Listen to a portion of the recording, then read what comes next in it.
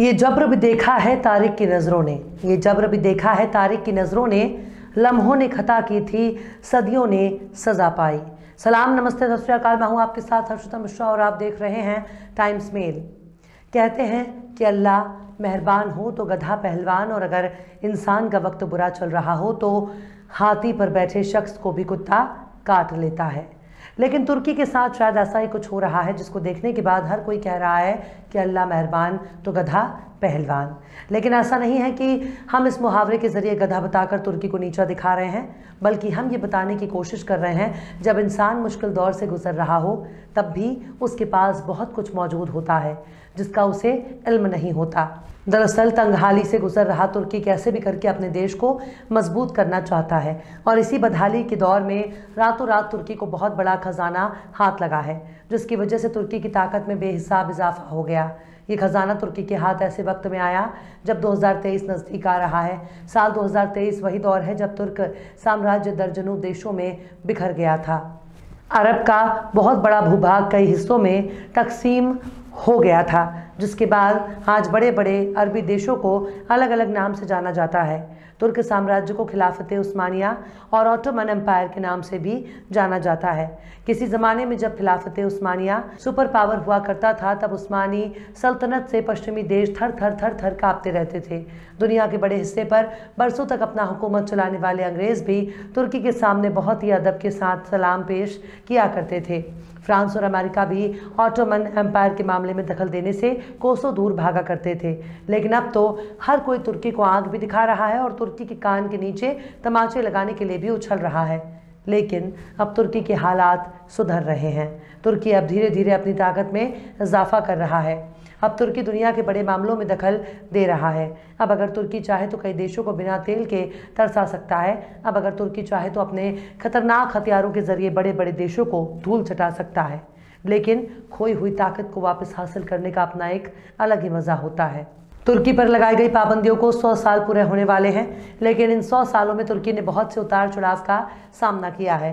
तुर्की ने बहुत से लोगों के ताने सहे हैं और तुर्की ने बहुत से दुश्मनों के हमले भी देखे हैं। तुर्की ने अपने दिल के सबसे करीब अरब को टूटते देखा है। तुर्की ने फ़लस्तीन के टुकड़े होते देखे हैं, जिन पर उसने बरसों बरस तक राज किया, जिसे हासिल करने में नूरुद्दीन जंगी और सलालुद्दीन अयूबी ने अपनी ज़िंदगी लगा दी। तुर्की ने अपने उस साम्राज्य पर विदेशियों का कब्जा देखा है, जिसे सलजूक और उस्मानियों ने अपने पलकों पर सजाया था। तुर्की ने अपने अजीम सुल्तान अब्दुल हमीद सानी को दुश्मन से लड़ते देखा है। तुर्की ने विदेशी मीडिया के उस प्रोपेगेंडा को देखा है, जिसके ज़रिए उसके खिलाफ सौ साल पहले नफरत फैलाई गई और जमकर एजेंडा चलाया गया। तुर्की ने अरब के उन नस्ल परस्तों को काबा और हरम शरीफ पर कब्जा करते देखा है, जिन्होंने मदीने में अहले बैत के मकानों को लूट लिया। तुर्की ने बगदाद, नज़फ़ और करबला की सरजमीन पर बहते हुए लहू को देखा है। लेकिन अब तुर्की इस हैसियत में आ चुका है कि वो यूरोप को ठंड में तड़पा सकता है। अब तुर्की इतना ताकतवर हो चुका है कि वो बड़े बड़े देशों का जहाज़ रोक रहा है। अब तुर्की उस हैसियत तक पहुँच चुका है जब विदेशी पाबंदियों का पलीता लग सकता है। दरअसल खजाना हाथ लगने से तुर्की का हौसला बढ़ गया है, जिसके बाद तुर्की ने समझा दिया कि भले ही 2023 आने में चंद दिन बचे हुए हैं, लेकिन अब उसने अपनी खोई हुई ताकत को हासिल कर लिया है। तुर्की के हाथ में लगा खजाना ही 2023 का ट्रेलर माना जा रहा है। आखिर क्या है कि 2023 का राज? आखिर कौन सा खजाना लगा तुर्की के हाथ? बताएँगे आपको और भी बहुत कुछ, लेकिन आप अगर हमारे चैनल पर नए हैं और पहली बार हमारी वीडियो को देख रहे हैं तो आप हमारे चैनल टाइम्स मेल को सब्सक्राइब कर लें, वीडियो को लाइक कर दें और बेल आइकन का नोटिफिकेशन बटन भी प्रेस कर दें, ताकि बिना देरी हमारी हर खबर आपको मिलती रहे। लौटते हैं अब खबर की तरफ़। तुर्की के दुख भरे दिन अब लग चुके हैं। माना जा रहा है कि तुर्की 2023 में अब हर वो काम कर सकता है जो एक आज़ाद मुल्क करने का हक रखता है। खासकर तुर्की अब अपनी ज़मीन में ड्रिलिंग भी कर सकता है, लेकिन इससे पहले तुर्की ने तेल का विशाल भंडार हासिल कर लिया है। अपने रिकॉर्ड महँगाई के दौर से गुजर रहे तुर्की के हाथ अरबों डॉलर का काला खजाना हाथ लगा है। तुर्की के राष्ट्रपति रजब तैयब अर्दगान ने ऐलान किया कि तुर्की को 15 करोड़ बैरल तेल का विशाल भंडार मिला है। तुर्की के अच्छे दिन शुरू हो गए हैं। इस कच्चे तेल की कीमत तकरीबन 12 अरब डॉलर बताई जा रही है। इस तेल का भंडार को दक्षिणी पूर्व इलाके में मौजूद पहाड़ से मिला है, जिसे गबर कहा जाता है। तुर्की ने तेल भंडार मिलने का ऐलान ऐसे वक्त में किया जब ग्रीस के साथ उसका समुद्र में तेल की खोज को लेकर गंभीर विवाद चल रहा है। राष्ट्रपति रजब तैयब अर्दगान ने सोमवार को कैबिनेट की मीटिंग के बाद कहा कि हमने गबर पहाड़ के अंदर 15 करोड़ बैरल तेल भंडार की खोज की है। यह साल 2022 में ज़मीन पर गिर गई। तेल की 10 सबसे बड़ी खोज में शामिल है। इस पूरे तेल भंडार का कीमत तकरीबन 12 अरब डॉलर है। तुर्की के राष्ट्रपति ने कहा कि देश में ज़मीन पर तेल की खोज के लिए माइनिंग खुदाई का और ज़्यादा तेज कर दिया गया है। उन्होंने ये भी बताया कि इस इलाके से खुदाई शुरू हो गई है। उन्होंने इससे पहले कहा था कि इस इलाके में तेल नहीं है। तुर्की के राष्ट्रपति ने यह भी कहा कि आतंकवाद के कारण भी इलाके को छोड़ना पड़ा था। तुर्की की प्लानिंग है कि रोज़ाना एक लाख बैरल ऑयल का प्रोडक्शन कर दिया जाए। इसके लिए तुर्की को और ज़्यादा ज़मीन के भीतर की जाँच करनी होगी। इसके लिए कुओं की खुदाई और ऑयल प्रोडक्शन बढ़ाने के नए तरीके अपनाए जा रहे हैं। जिस इलाके में तेल की खोज हुई है, उसका नाम एक शहीद के नाम पर रखा गया है, जो बारूदी सुरंगों की सफ़ाई करने के दौरान शहीद हो गया था। हालाँकि इससे पहले साल 2020 में तुर्की को सोने का विशाल भंडार मिला था, जिसका वज़न 3.5 मिलियन ऑन्स यानी तकरीबन निन्यानवे टन मापा गया था, जिसकी कीमत तकरीबन 6 अरब डॉलर, यानी तकरीबन चवालीस हज़ार करोड़ रुपए थी। तुर्की का ये सोने का खजाना पश्चिम मध्य इलाके की सौगोत में मिला था। तुर्की का अगले पाँच सालों में टारगेट है कि सालाना सोने का उत्पादन सौ टन तक पहुँचाया जा सके। हालाँकि, तेल के इस विशाल भंडार से तुर्की की अर्थव्यवस्था को बड़ा फ़ायदा मिलने की उम्मीद है। हालाँकि साल 2021 में तुर्की में सिकंदर के समय का ऐसा ही एक खजाना है, जिसे बहुत ही बेशकीमती माना जा रहा है, क्योंकि बहुत ही पुरानी खबरें हाथ लगी, जिनका एक इतिहास महत्व है। तुर्की में पुरातत्वविदों ने पत्थरों को काट कर बनाए गए 400 मकबरों को खोजा।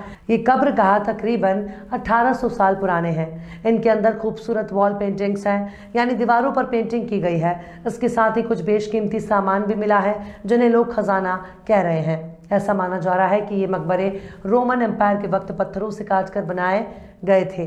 तुर्की के एजियन सागर से पूरब में तकरीबन 180 किलोमीटर दूर स्थित ऐतिहासिक शहर ब्लांडोस में ये पत्थर से कटे मकबरे मिले हैं। इस शहर को सिकंदर के वक्त में बनाया गया था।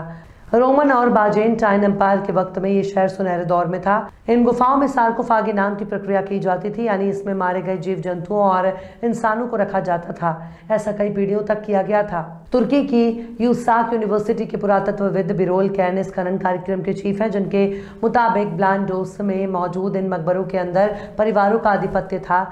यानी एक मकबरे या उससे अधिक किसी एक परिवार के तो बाकी किसी और के। जब भी किसी के परिवार में कोई मरता तो उसका अंतिम संस्कार नहीं किया जाता था। उसके बाद इसे बंद कर दिया जाता था। ब्लांडोस शहर चारों तरफ़ से घाटियों से घिरा है, यानी ये एक ऊँची पहाड़ी पर बना है। असल में ये घाटियाँ यूसाक कैनियन का हिस्सा है। ये कैनियन दुनिया के सबसे बड़े कैनियन सिस्टम में से एक है। ब्लांडोस के ही लोगों ने इस साथ की घाटियों की ढलान पर नेक्रोपोलिस बनवाया था। इस इलाके में अंतिम संस्कार की प्रक्रिया यही थी कि मज़बूत पत्थर को काट कर मकबरा बना दिया जाता था, जिसके अंदर अंतिम संस्कार किया जाता था। बिरोल केन ने कहा कि पुरातत्वविद नेक्रोपोलिस के बारे में पिछले डेढ़ सौ सालों से जानते हैं, लेकिन कभी भी ब्लांडोस में इस तरीके से खुदाई नहीं की गई थी। इसलिए हमने साल 2018 में एक सिस्टम के तहत खुदाई का काम शुरू किया। अभी तक हमने इस जगह पर दो इबादत का, एक थिएटर, एक पब्लिक बाथरूम और एक जिम्नेजियम, एक बेसिलिका शहर की दीवारें, एक बड़ा दरवाज़ा रोमन साम्राज्य के हीरो हैरून का मकबरा और पत्थरों से कटे मकबरे खोजे हैं। नेक्रोपोलिस में मिले 400 मकबरों में से 24 में दीवारों पर पेंटिंग्स मौजूद हैं, लेकिन रोमन साम्राज्य के खत्म होने के बाद कुछ गुम्बदों के, भेड़ों और मवेशियों के आराम गाह के लिए उपयोग किया जाता था। जानवरों के रहने की वजह से कई पेंटिंग्स खराब हो गई, हालाँकि बिरोल की टीम कुछ को संरक्षित करने में कामयाब रही है। तो इस तरह से तुर्की की सरजमीन से तारीख के बड़े बड़े राज निकल रहे हैं। सोने का भंडार भी निकल रहा है, लेकिन तेल का विशाल भंडार हासिल होने से तुर्की के आर्थिक हालात में कुछ सुधार आएगा।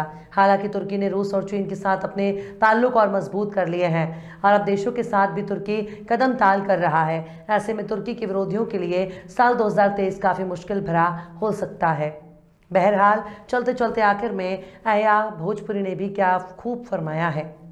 मिटती नहीं तारीख से कोई भी इबारत। मिटती नहीं तारीख से कोई भी इबारत। तारीख लगेगी कि लिखा काट रहे हैं। फ़िलहाल इस वीडियो में बस इतना ही। वीडियो आपको कैसा लगा कमेंट बॉक्स में ज़रूर बताइएगा।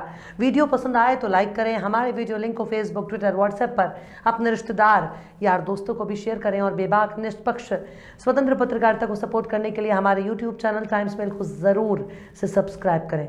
और हाँ बेल आइकन की घंटी वाली बटन भी ज़रूर से दबा दें ताकि आपको हमारे आने वाले नए वीडियो की नोटिफिकेशन फ़ौरन ही मिल जाए। फिर मिलते हैं किसी और वीडियो में एक नई खबर के साथ। हर्षिता मिश्रा को दीजिए इजाज़त। जय हिंद। तो देख लिया आपने हमारे इस वीडियो को। हमें उम्मीद है कि आपने हमारे वीडियो को लाइक किया होगा और दूसरों को भी शेयर किया होगा। अगर अभी तक आपने हमारे चैनल टाइम्स मेल को सब्सक्राइब नहीं किया है तो जल्दी से सब्सक्राइब कर दें और बेल आइकन भी प्रेस कर दें।